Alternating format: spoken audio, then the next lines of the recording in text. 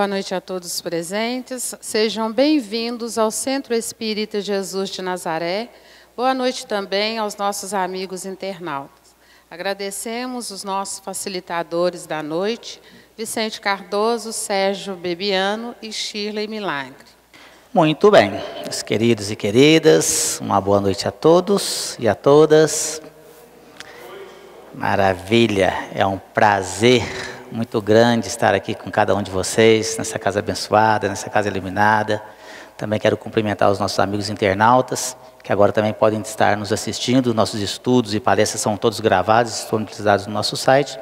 Então, nossos queridos amigos estão aí nos mais longínquos rincões aí do nosso planeta, brasileiros que estão não têm às vezes condições de estudar a doutrina espírita na cidade onde se encontram, podem estar aqui compartilhando conosco e estudando junto conosco. Então, a vocês, meus amigos, um grande abraço a todos também. Bom, meus amigos, conforme foi colocado, o nosso estudo hoje é de perguntas e respostas. Nós estamos aqui com a nossa querida Chile e o nosso companheiro Vicente, da qual aproveito para agradecer a presença de sempre e o carinho de estar aqui com essa casa. E eu vou passar para a Chile, ela vai estar fazendo aqui as explanações das perguntas que já estão aqui. Vocês podem fazer as demais, já temos várias aqui que foram chegados para nós. Depois o Vicente vai dar continuidade e assim sucessivamente. Desejo a todos um excelente estudo. Fique à vontade. Boa noite, queridos amigos. Muita paz a todos, né? Vamos começar aqui duas, aliás, são três perguntas que estão mais ou menos ligadas com o mesmo tema. E a gente vai tentar responder. Boa noite. Como se deu a evolução dos primeiros espíritos da criação? Já que foram os primeiros quem os auxiliou, é, já que foram os primeiros, quem os auxiliou em sua jornada? Qual livro poderia explicar melhor? Bom, é, na realidade, a criação ela remonta a um tempo que nós desconhecemos. É, como é, nós sabemos, nosso Pai ele em momento nenhum terminou a sua obra, né? Ele vem fazendo a sua obra o tempo todo. Não dá para falar que a partir dessa ou daquela hora é que os espíritos começaram a ser criados, né? É, na realidade, os espíritos, como espíritos, a gente se torna espírito. A gente não é criado espírito. Nós somos princípios inteligentes né, da criação. Aquela trindade universal que nós todos já ouvimos falar várias vezes, quando passamos muitas vezes por outras filosofias religiosas, em que fala Deus, Jesus e o Divino Espírito Santo, né? É, na realidade, a trindade universal é principalmente é Deus, o princípio espiritual e o princípio material. E o princípio espiritual é exatamente o princípio inteligente do universo, que é a centelha divina, né, que vai ganhar a sua, é, a sua independência à medida em que vivencia suas experiências na matéria, adquirindo a, a, o raciocínio, o conhecimento sobre tudo que o funcionamento do universo, né, as leis que regem a criação, e ao mesmo tempo também adquirindo a capacidade de amar. Então, nós, na verdade, nos tornamos espíritos, né? Fomos criados princípio inteligente da criação e nas diversas experiências com a matéria nós vamos nos tornando espíritos, né? E sempre houve espíritos, se a gente for pensar no universo, na imensidade do universo, é, que é medido, as, as distâncias são medidas com a velocidade da luz, é isso? E a, a luz caminha é, 300 mil quilômetros aí, é, 300 mil quilômetros por segundo. Então, a, a, na verdade, o universo é uma distância incomensurável, que a gente não consegue sequer imaginar. Né? E é exatamente por isso que nós não podemos pensar que nós somos os primeiros seres inteligentes da criação. Não somos. Né? De fato, nós não somos. e não temos o conhecimento de quem que é o primeiro, tá certo? Bom, é, ligado a isso tem uma pergunta que diz o seguinte: qual o motivo das doenças nos animais, já que não estão espiando? Que pergunta muito interessante e que está ligada a essa questão evolutiva. Porque o princípio inteligente ele passa por vários estágios, né? Inclusive ele ele passa pelo estágio mineral, onde ele aprende a lei de atração e repulsão das moléculas. Depois ele entra no estágio é, vegetal, onde ele vai começar a lidar com o princípio vital, com a vida, com a máquina celular, não é isso? E depois entra no, no estágio do reino animal, onde ele começa a desenvolver as emoções que são instintivas, para depois entrar no estágio do Homo sapiens, que é até a terceira pergunta aqui, onde ele desenvolve então a sua, a sua capacidade de livre-arbítrio e o seu, a sua capacidade cognitiva para fazer as suas escolhas e se responsabilizar por elas. Os animais, eles ainda não estão nessa fase de se responsabilizar pelo que fazem, porque eles ainda não têm o livre-arbítrio é, pleno, como o espírito que habita já a máquina humana, né? o princípio inteligente que já é espírito e habita a máquina humana. Esse espírito ele já tem condição de exercer o seu livre-arbítrio. Aquele princípio inteligente que ainda estagia no reino é, animal, ele ainda não tem um exercício pleno do seu livre-arbítrio. Ele tem parcialmente. E muitas vezes as doenças que os atingem nada mais são do que eventualidades da própria matéria, falhas da própria matéria, ou mesmo a colaboração nossa com a nossa mentação, né, com a nossa capacidade de emitir pensamentos. E pensamento é vida, pensamento age na matéria, pensamento leva forças e energias positivas e leva força e energia negativa. Né? Então, muitas vezes esses animais adoecem, inclusive por ação da nossa própria mente desequilibrada. Eles acabam absorvendo um pouco desta energia psíquica desequilibrada que nós continuamente muitas vezes emitimos para o ambiente que a gente vive. E aí vem a pergunta: se o Homo sapiens for extinto, onde ou quem os espíritos reencarnarão, né? Qual o corpo que vai servir para eles, né? Bom, a, a evolução ela é contínua e se esse nosso corpo físico de hoje, atual, é, for extinto por alguma é, hecatombe biológica, né, certamente que a própria natureza, a própria providência divina, ela vai é, providenciar, né, aqueles que estarão salvos e que vão dar continuidade atra através do seu DNA à nova espécie que surgirá, né? Então, assim, nada o próprio Cristo disse que não cai uma folha de uma árvore sem que Deus o saiba. Ora, folha de árvore cai o dia inteiro, várias, não é? Então, se o pai tem ciência de, até da folhinha que cai da árvore, quanto mais uma alteração né, tão grande na disponibilidade do equipamento fisiológico, material, que vai permitir a manifestação da nossa inteligência, dos nossos sentimentos. Em complementação à fala da Shirley, existe um livro chamado Evolução Espiritual, de Lorival Champion. Esse livro é uma compilação é, das obras básicas com relação à evolução do princípio espiritual quem quiser realmente se imbuir mais dessa ideia de como é que funciona a evolução, que foi a primeira pergunta feita, quem quiser se imbuir mais da ideia, o processo Esse livro ele é muito bom. É numa linguagem acessível, está dentro da proposta doutrinária. Evolução Espiritual de Lorival Champion. É da Federação Espírita é, do Estado de São Paulo.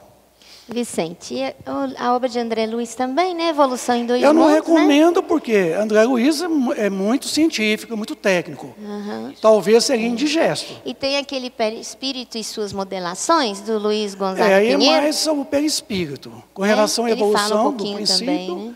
eu recomendo o livro A Gênese, inicialmente. O capítulo, tem um capítulo chamado é, Evolução Espiritual, ou, ou a Gênese Espiritual. Lá está mais assim, mais acessível. Evolução em dois mundos é muito técnico. Talvez estaria fora do alcance de muita gente entendê-lo.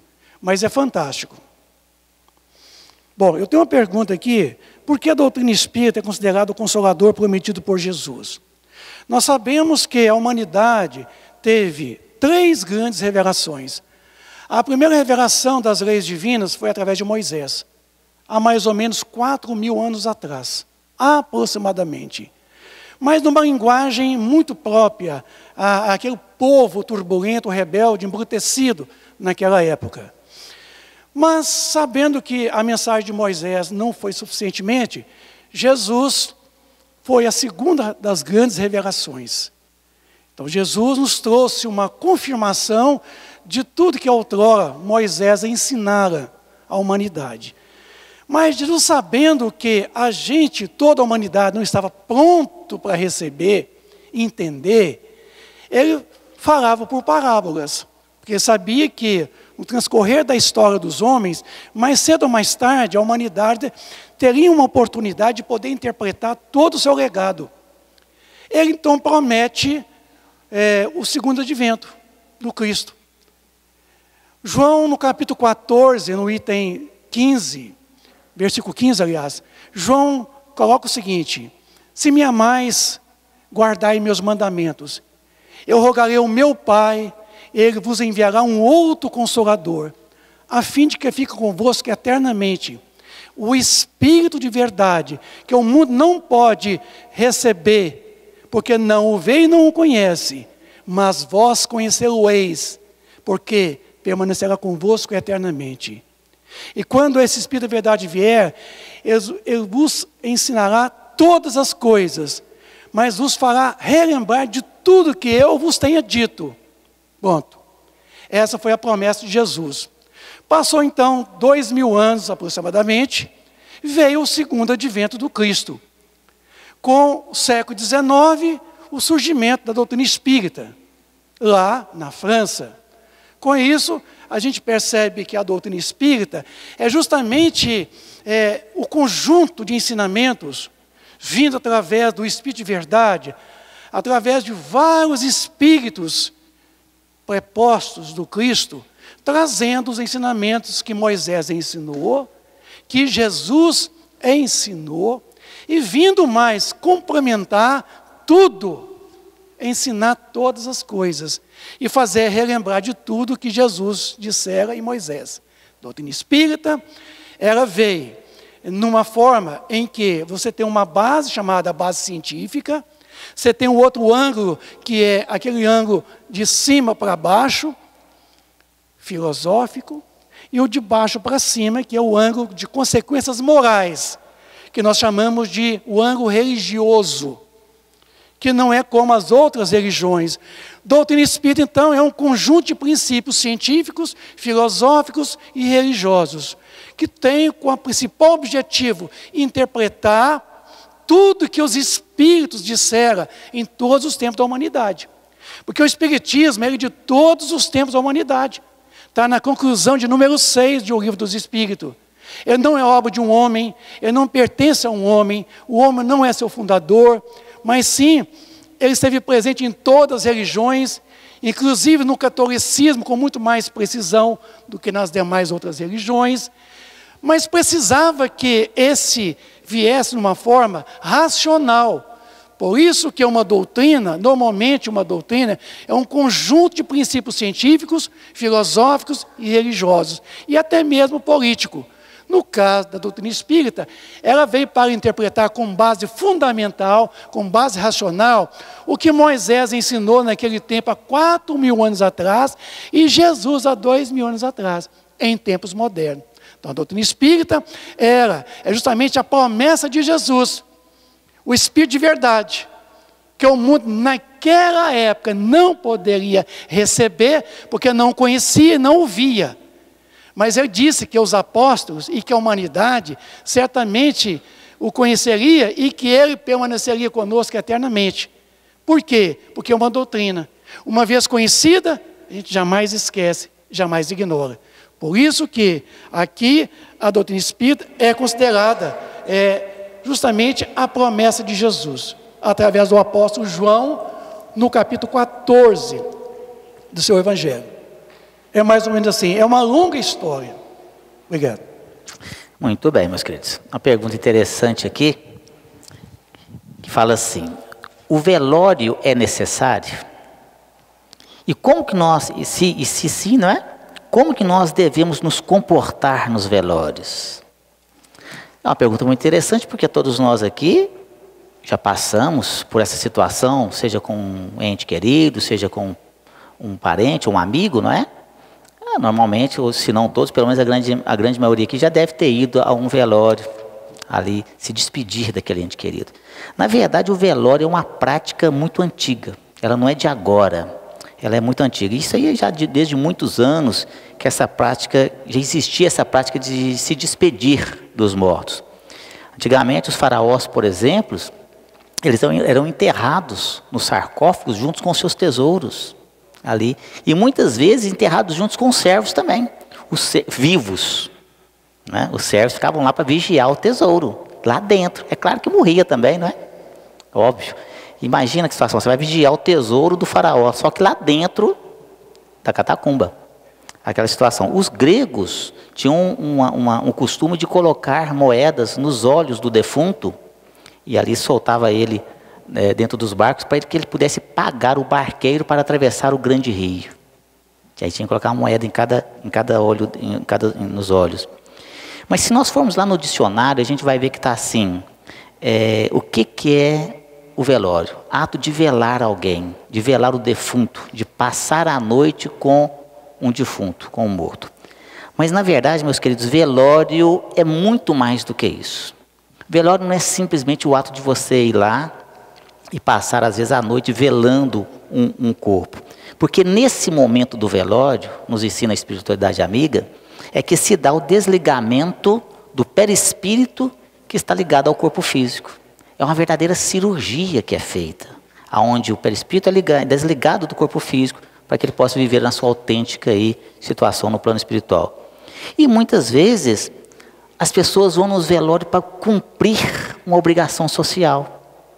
Às vezes, recebe uma ligação, ó, oh, quero te comunicar que fulano de tal morreu hoje.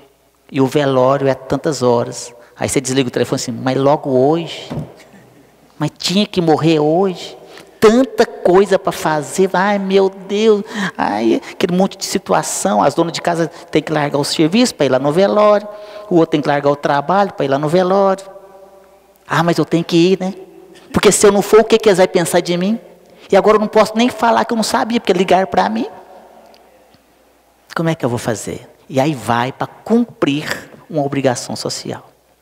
E fica lá, fazendo só vista, só aparência. Mas por dentro não gostaria de estar ali. Se for assim, meus queridos, não vai, não precisa ir. De onde você estiver, se você fizer e mentalizar aquele irmão recém-desencarnado, e enviar para ele suas vibrações autênticas de amor e de carinho, vai fazer muito melhor do que ir lá apenas para cumprir a obrigação social. E tem gente que, que, a gente vê de tudo, na verdade, no velório, né? Que tem velório que tem, tem comida, tem bebida, até bebida alcoólica eu já vi. É o famoso beber, beber o defunto mesmo. Que tá lá, e a turma lá no golo, lá, e bebendo, e, e tudo, e comendo, e o coitado do defunto lá. E a turma está lá no boca livre. E ali naquela maior farra. Tem gente que vai no velório como parece que vai estar tá indo numa festa de plumas e paetês. E se arruma toda, e daquele jeito tudo, né? Ali. vai com aquelas, com aquelas mini saias, às vezes nem mini saia, micro saia, aqueles decote que vai até lá para baixo do umbigo, passa na frente do defunto, o caboclo até levanta lá, né? Nossa Senhora! Nós temos que tomar cuidado, meus queridos. Cemitério é um lugar muito complicado. Ali estão os demais diversos tipos de espíritos que vocês possam imaginar. Vampiros, ali perturbados. E a pessoa vai desse jeito, acaba voltando acompanhada para casa e não sabe nem porquê. O que, que aconteceu. Né? E depois fica aquele processo de perturbação muito grande. Mas foi lá e caçou, não é verdade? Então, nós temos que tomar cuidado, temos que ter aqui o respeito nesses lugares. E velório a gente vê acontecer de tudo, fala de tudo. Ali conta piada, faz negócio, porque o melhor lugar para tocar de carro é velório. Né? Tá ali, combina viagem, combina pescaria, combina tudo, né? Pior, fala mal do defunto. Mas também sabia? Cachaceiro, rapaz. Enrolado, vagabundo. Batia na mulher, batia nos meninos. E aí as mazelas do coitado, do recém-desencarnado, vão sendo colocadas tudo para fora. E não raro, muito pelo contrário, muitas vezes, o espírito ali se encontra. Principalmente se teve uma vida muito complicada, muito desregrada. Está ali preso ainda aquele corpo físico, escutando tudo aquilo, às vezes não raro também perturbado, não está compreendendo o que é está acontecendo, naquele estado de perturbação tão grande, e escutando aquele monte de coisa, aquela confusão danada é, naquela situação. Então, meus queridos, nós temos que ir no velório e nos mantermos em prece. É isso que a gente tem que fazer auxiliando com as nossas melhores vibrações de amor e de carinho, auxiliando aquele irmão recém-desencarnado, auxiliando a equipe espiritual que vai ali seccionar os laços perispirituais, os liames que ligam o perispírito ao corpo físico, para que ele possa realmente ser desligado e o espírito possa realmente ser levado para outros lugares. Então fica lá uma situação complicada. Pode chegar ao ponto de ser enterrado junto com o corpo físico. Ali fica ali, agarrado naquele negócio, apega as coisas. Muitas pessoas colocam um monte de coisas dentro do caixão, enche o caixão de flores, bota, deixa só a cabecinha do coitado lá de fora, enche de cravo defunto, aquele cheiro forte. Se fosse com você, você ia gostar? Deita lá e enche você de cravo defunto, deixa só você de cabecinha, aquele cheiro forte. Ninguém aguenta. Nas reuniões mediúnicas que nós participamos, muitas vezes são resgatados espíritos que estão ali ainda naquela situação. Me tira daqui, me tira daqui, eu não estou aguentando. E eles nos pedem socorro. A espiritualidade, ninguém é desamparado no seu devido tempo, é auxiliado. Quer colocar flor? Põe lá um pouco. Por isso que é importante conversar sobre morte. A gente não gosta de conversar sobre morte. Vai falar sobre morte? Eu, Deus me livre, Senhor. Parece que está chamando. E não tem nada disso. Todos nós aqui vamos desencarnar um dia, meus queridos. Ou será que alguém aqui acha que vai ficar para semente? Não vai. Alguém que conhece, que foi numa festa de aniversário? Eu fui na festa de aniversário ontem, Vicente, você ver. 180 anos caboclo. Que saúde, viu? Não existe. Vai chegar uma hora que vai desencarnar. Às vezes lá 80, 90, 100. Né? Às vezes um pouquinho mais de 100. Está aquele caquinho velho, arrastando, custando a segurar mas não larga o corpinho. Mas vai chegar uma hora que não tem jeito, vai largar. Todos nós vamos desencarnar. Por isso a importância de conversar sobre morte. Como é que você quer ser velado? Minha esposa falou: só não põe flor no meu caixão, não. Quiser botar umas um lá nos meus pés, você põe.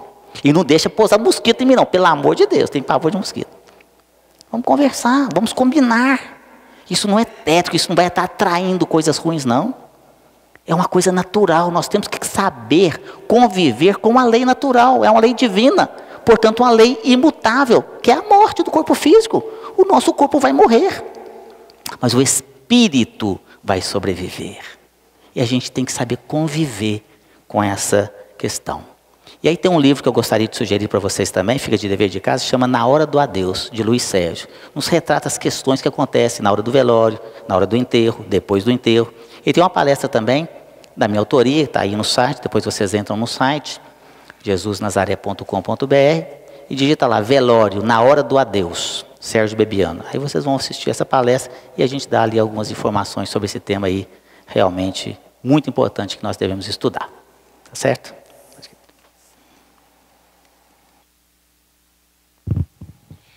Boa noite. Eu queria saber o que que antes de frequentar a casa Jesus de Nazaré eu tinha insônia e ficava fazendo serviços à noite. Agora durmo bem. O que seria? Obrigada. Vou associar isso aqui a uma outra pergunta. Boa noite. Gostaria de saber se depressão, ansiedade, estresse, pânico tem alguma base espiritual. Que eu acho que essas perguntas estão um pouquinho relacionadas, né?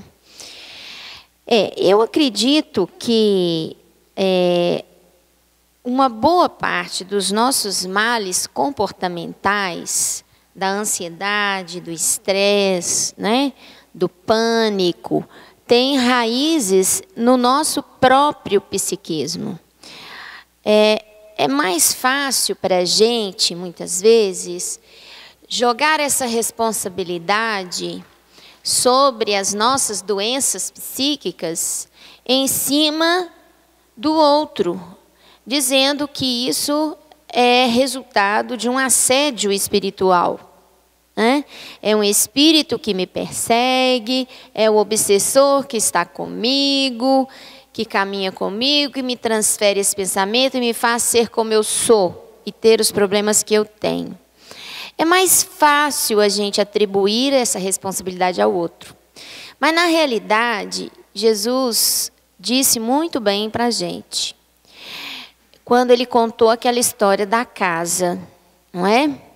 Ele disse que moravam lá espíritos imundos na casa, habitavam a casa. E aí esses espíritos imundos foram expulsos dessa casa. Foram expulsos Passaram-se sete anos.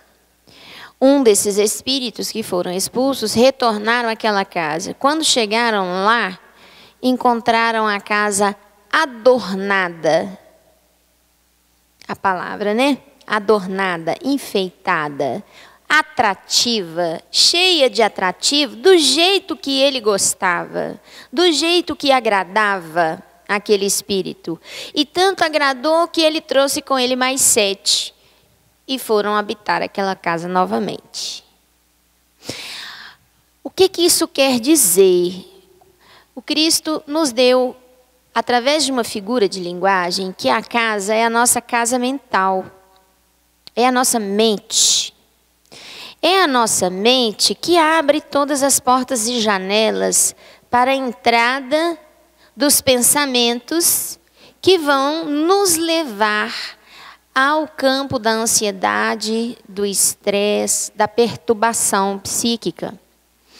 Então, antes que um espírito desencarnado, antes que uma outra mente consiga influenciar a minha mente, ele precisa da minha autorização e como que eu dou essa autorização?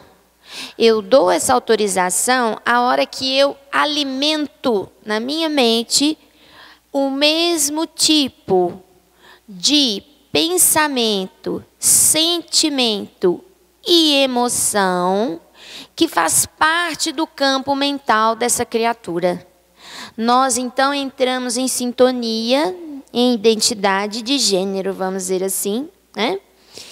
E com a sintonia eu consigo receber na minha casa mental várias sugestões, vários, várias sensações, várias emoções que começam a integrar o meu ambiente psíquico e eu começo a acreditar que aquilo é só meu. Então, na verdade, somam-se a, a influência é, mental, doentia, daqueles irmãos desencarnados como nós, que se encontram desequilibrados no mundo espiritual e que muitas vezes eles precisam atuar no mundo material se utilizando do espírito encarnado através do seu próprio corpo físico, assediando-o, induzindo-o, influenciando-o com a permissão dele. Com a permissão dele. Então, depressão, ansiedade, estresse pânico têm as suas raízes em nós, porque nós damos a permissão para a influência externa. Começa tudo conosco. Brota em nós aquele riachozinho que vai se transformar num rio volumoso e muitas vezes capaz de nos levar né, a paisagens de sofrimento e de dor. Tudo começa em nós. E como o nosso companheiro disse aqui, antes de frequentar a casa de Jesus de Nazaré, eu tinha insônia e ia fazer os serviços à noite porque não, não tinha sono. Né? Certamente uma criatura que estava assim numa, numa situação de ansiedade muito grande, né? Não conseguia apaziguar a sua mente, o seu coração, é, se tranquilizar para conseguir relaxar e adormecer. E aqui na casa, graças a Deus, parece que encontrou um caminho aqui, né? Uma maneira de se encontrar com Deus, né? Se encontrar com com o divino e isso fez com que ela recebesse no campo mental dela, na casa mental dela, boas energias, energias benfazejas que o ajudaram ou a ajudaram, porque agradece no feminino, obrigada, acredito que a ajudaram a relaxar e a encontrar de novo o seu repouso, né? Mas é claro que aqui começou de dentro dela a mudança. Se ela não, não houvesse feito a sua reflexão íntima e não houvesse buscado novas maneiras de se viver e de se pensar, certamente ela não teria ficado livre do problema. E certamente ela ficaria aqui anos a fio na casa Maria de Jesus de Nazaré, sem conseguir obter uma mudança no seu sofrimento. Então, a mudança começa dentro da gente. Nós vamos fazer duas perguntas aqui. A primeira é o seguinte: Como pode ser explicado o fato de ouvir várias vezes meu nome ser chamado, sendo que estou sozinho em casa? O que pode ser. Primeiro é o seguinte, nós não podemos garantir nada para você aqui agora, dizer que é isso ou o que é aquilo. Seria muito temerário de nossa parte afirmar o que se trata. Primeiro, o bom senso e água fluidificada não faz mal para ninguém. Nós temos que ter a cautela de não tirar deduções precipitadas para poder indiciar isto ou aquilo, para responder a contento. Tem que ser analisado o fenômeno, tem que ser explicado com base científica. Quando você vai ao médico, você chega no médico e fala, doutor, dói aqui, dói ali, eu estou com um problema assim, assim, assado. O doutor fala assim, é isso, assim, assim, assado. E passa a prescrição da medicação. É isso que ele faz, né, com a gente. O médico pede 10, 15, 20 exames clínicos para você fazer para depois você ir no retorno para poder fazer um diagnóstico mediante o quê? Aquilo que é provas, a prova concreta, que são os exames, para que eu possa te dar o diagnóstico. O mesmo caso é nós aqui na Casa Espírita. Nós não, não podemos aqui de pronto responder para você que neste caso você está ouvindo, ô, oh, ô furando, ô furando. Eu poderia dizer que seria um espírito? Poderia. Mas quem me garante que é? Primeiro, descartando todas as possibilidades físicas. Tá? Sons acústicos. Por exemplo, põe o seu celular para poder gravar. Se o seu celular gravar, certamente um som acústico. Está no mundo físico. Aí vai ser estudado. Qual é a origem do som? Se no celular não gravar, mas você continuar ouvindo, aí tem que ser estudado. Pelo seguinte, é, Existem algumas situações em nós que podem nos levar realmente a um processo puramente de alucinação.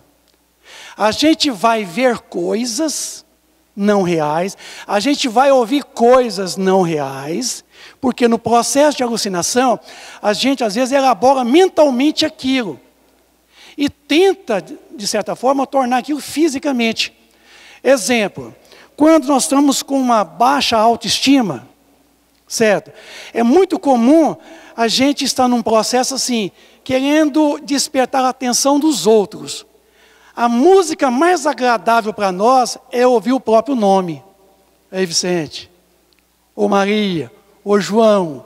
A música mais agradável é a gente ouvir o próprio nome.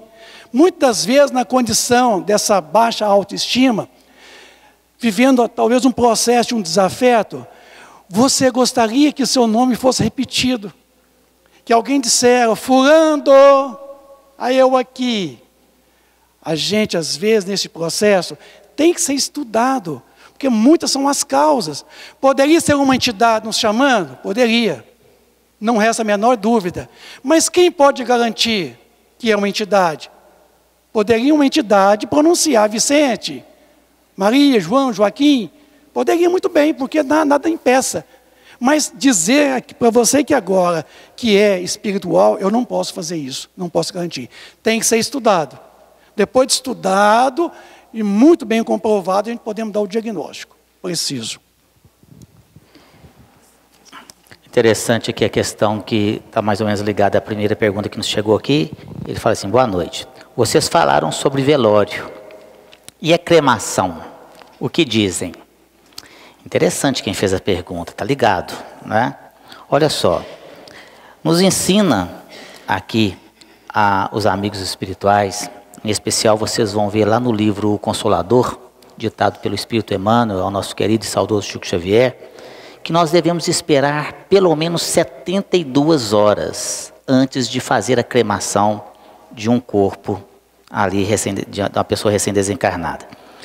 Nos diz Emmanuel que após o desencarne ainda existem muitos ecos de ligação entre o perispírito e o corpo físico. Existe uma ligação fluídica muito grande ali ainda, que precisa desse tempo de cerca de mais ou menos 72 horas para que possa ser dissipado é, toda essa, essa ligação.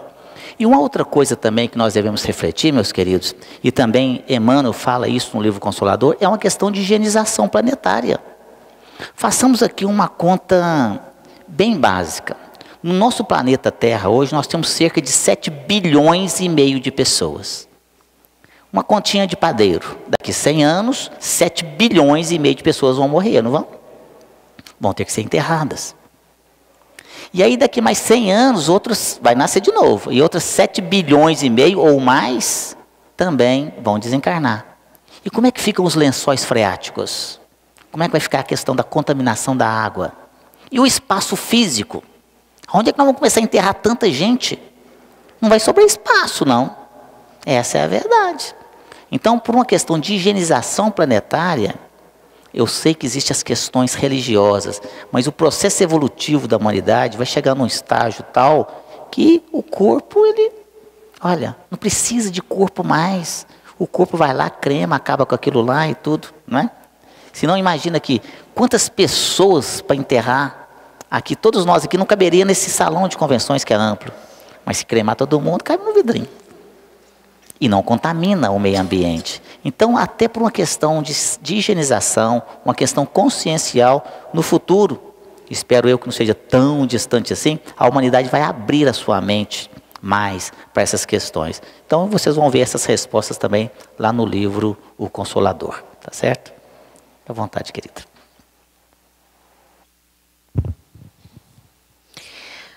É, na família houve muitos abortos. Qual motivo pode ter levado a isso? É, o, os abortos, é, eles frequentemente acontecem no primeiro trimestre da gestação, principalmente é, é nas primeiras seis a oito semanas. E esses abortos espontâneos, que acontecem de maneira espontânea, na sua maioria estão relacionados há um defeito no corpo físico, na, na célula que originaria o corpo físico. Então, é, é, nem todas as criaturas é, que são concebidas, né, nem todo é, embrião ele vai estar ligado a um espírito, tá? E isso está lá no livro dos Espíritos, né? A, a ligação da alma, do espírito, se dá no momento da concepção, né? no, no momento da união é, e na formação do, do zigoto, né? da, primeira, da primeira célula. É, entretanto, algumas, é, alguns embriões que são mal formados, né? eles não têm nenhum espírito ligado a eles, porque eles já foram concebidos por um acidente genético, né? Houve um acidente genético ali e ele tem que ser descartado, a própria natureza descarta. Agora, há uma situação um pouco diferente, é, principalmente para aqueles abortos ou para aquelas perdas fetais, que eu não chamaria aborto. Aborto a gente vai se referir a aborto até a vigésima uh, vigésima semana, vigésima quarta semana, mas tem crianças que morrem no intraútero, né? já formadinhas, a gente chama é, de morte intrauterina. Essa, esses casos, eles muitas vezes até tinham assim um, o espírito já determinado para aquele corpo, é, mas a perda é para é uma provação, né, um teste para os pais. Essas perdas fetais, né, de essas mortes intrauterinas, elas são uma prova para os pais. E por que passar por essa prova, né? Existem inúmeras razões, mas essa prova ela busca despertar nos espíritos envolvidos naquela perda o valor à vida, né?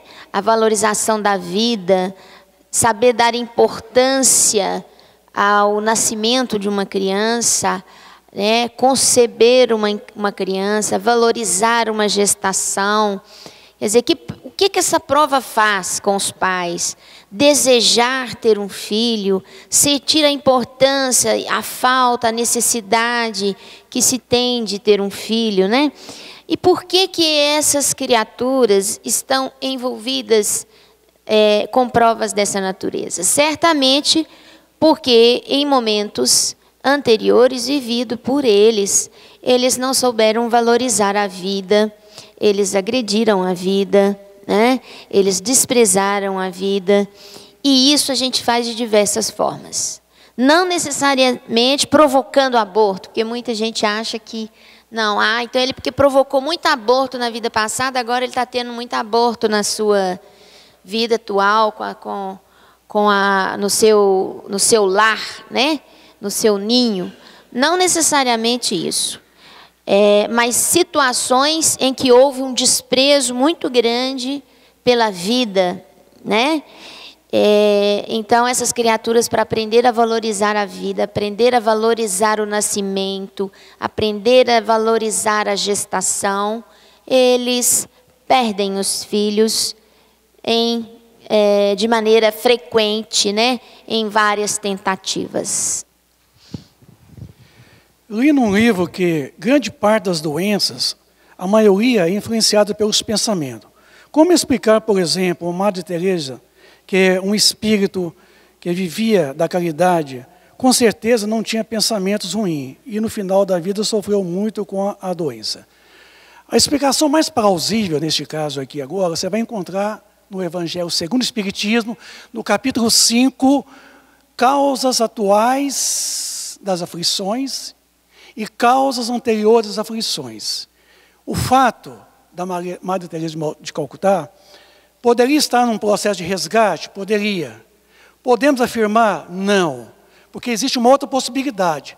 Aqui neste livro mesmo, do Evangelho, no capítulo 5, no item 9, coloca o seguinte: vejam vocês aqui. Entretanto, não seria preciso crer que todo sofrimento suportado neste mundo seja necessariamente indício de uma falta determinada. São frequentemente, simples provas escolhidas pelo Espírito para acabar sua depuração e apressar seu adiantamento. Assim, a expiação serve sempre de prova, mas a prova não é sempre uma expiação. Mas provas ou expiações são sempre sinais de quê? De inferioridade relativa, porque o que é perfeito não tem mais necessidade de ser provado. Aqui agora vai. Um espírito pode, pois, ter adquirido um certo grau de elevação, mas querendo avançar ainda, solicita uma missão, uma tarefa a cumprir, da qual será tanto mais recompensado e mais vitorioso, é, quanto a luta se tem sido mais penosa.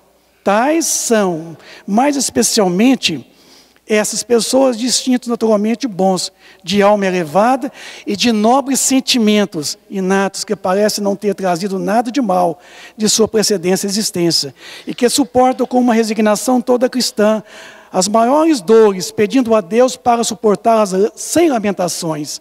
Então veja você o seguinte, Chico Xavier, vocês concordam comigo que Chico Xavier é um homem bastante são, para não falar santo, Quer dizer, uma criatura que tinha uma vida pautada dentro do Evangelho do Cristo. Um homem chamado Amor. No final da sua existência, o homem estava cheio de enfermidades, doenças. Muitas vezes, meus amigos, a enfermidade é, não é indício de imperfeição, mas um espírito pode pedir a Deus para adiantar mais o seu processo evolutivo, ganhar mais tempo e ter realmente um final com um certo sofrimento, quanto é, no caso da matéria de Calcutá, o próprio Chico Xavier, que teve uma série de patologias. Você fala, mas como pode uma pessoa sã, não isso, sofrer tanto no final da vida? São escolhas que eles fazem, que nós podemos fazer, para ganhar tempo perdido, para acelerar o seu progresso. Então, sofrimento, às vezes, não é indício de processo expiatório pode ser um processo de escolha, do qual pedir a Deus para acelerar o seu que a sua evolução espiritual.